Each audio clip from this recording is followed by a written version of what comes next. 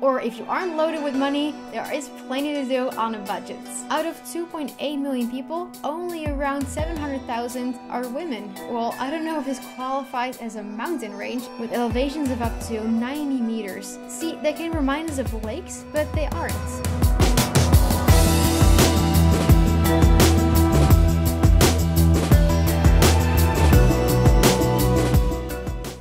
I'm make travel and geography related videos, and today we're going to zoom in on the first and only Q country in the world.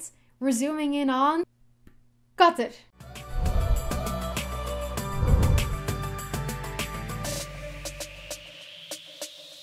Yes, Qatar is the right pronunciation, but I don't think it's wrong to say Qatar.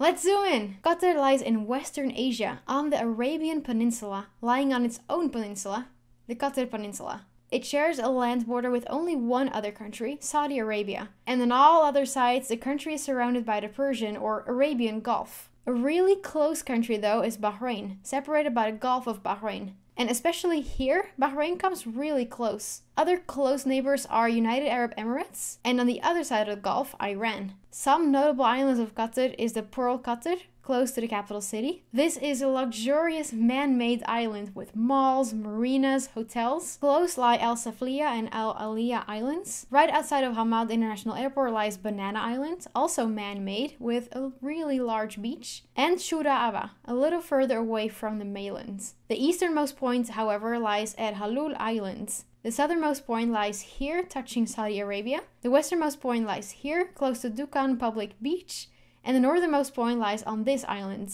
Jazirat Ras Rakan. You've already guessed, Qatar belongs to the smaller countries in the world, coming on number 158 in area, but still bigger than Trinidad and Tobago and Lebanon. With 2.8 million inhabitants, Qatar comes on place number 139 in population, about the same as the much bigger country Namibia. The population density becomes 237 people per square kilometers, making Qatar come on number 39 in population density, pretty much the same density as Germany. Life expectancy here is among the highest in the world. In 1960, life expectancy was 61.1 years. In 2018, it has risen to 80.1 years. That is 19 extra years to live. I want to say something more on Qatar's population. Do you know what a population pyramid is? It is a diagram showing the distribution of the ages and genders of a population in a given country. Like, this is Mozambique's population pyramid. It looks like a pyramid because there are more children and young adults, and then less and less older people. It has to do with life expectancy. Population pyramids can also look like this. This is from Iceland.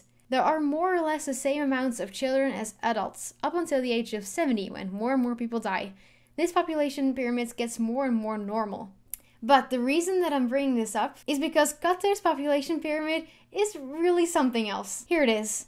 Look at it. Very little children, very little old people. Most are between 20 and 50 years old. And look, there are many, many, many more men in Qatar than women. Out of 2.8 million people, only around 700,000 are women. And why is that? Qatar has many young male immigrants that come to Qatar for work Many are working in infrastructure, so a big part of Qatar's inhabitants are not originally from Qatar. Many of which are working in the capital city Doha, lying at the east coast. Other cities are Al Rayyan, glued together with Doha, El Wakra, a little south of Doha, and further away from the capital city lies Al Khor in the north. The official language here is Arabic, and since many people are immigrants who do not speak Arabic, English is also commonly used. Qatar in Arabic is Qatar.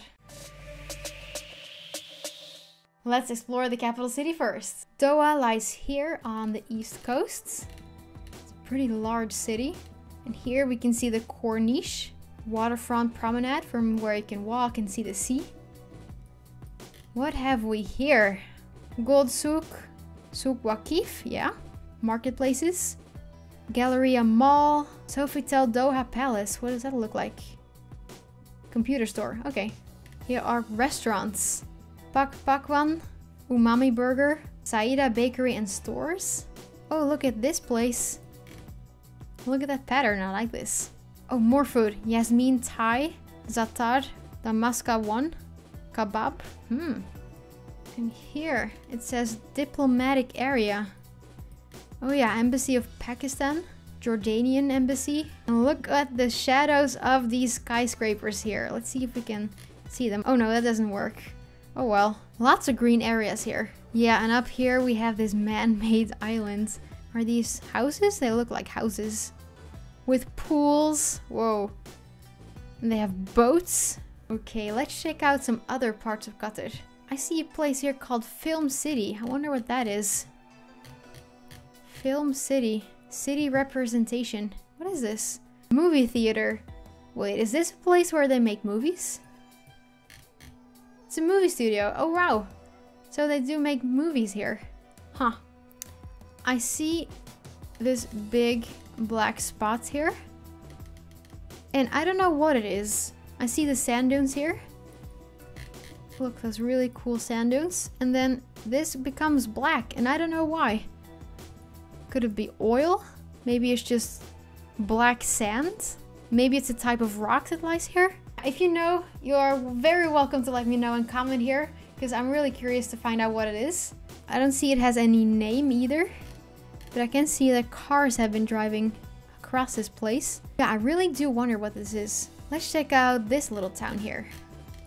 It all looks yellow. It's all deserts, which is natural because there's very little rainfall here. What happens here? A laboratory? Got this solar technologies? Do they maybe have solar power here? Huh, what is this? This is a road going here, but what this what is this? Refinery? Oh, oil refinery. There's lots of oil industry going on here. That's where they got that money. Yes, of course. Qatar gas yeah, gas as well. People come to work here in oil and gas. Here there's a gas station. And here's a port. Some boats. Yeah. And as always, let's start with the topography map. Yes, Qatar is generally flat and rocky, with elevations rising a little bit towards the center and near the west coast. And let's switch maps. Yes, what do you think?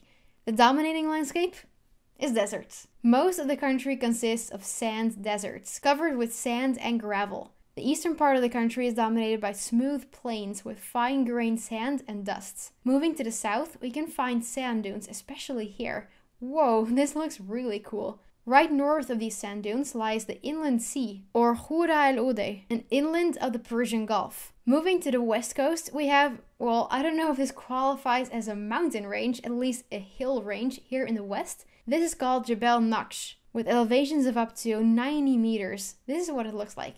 This, however, is not where you can find the tallest point in Qatar. No, that is a little higher than 90 meters. It's 103 meters, or 338 feet. This is Khurain Abu Al Bol. This is what it looks like. To compare, the Eiffel Tower is about three times as tall as this mountain. So it's not really a tough hike. Actually, it looks like you can drive up here. There is a road going up here. Qatar's coastline has gentle slopes towards the sea, and many islands have coral reef. The salty seawater gets into contact with the low-lying land, creating sabkhas, salt flats. There are many of these salt flats here on the southeast coast. See, they can remind us of lakes, but they aren't.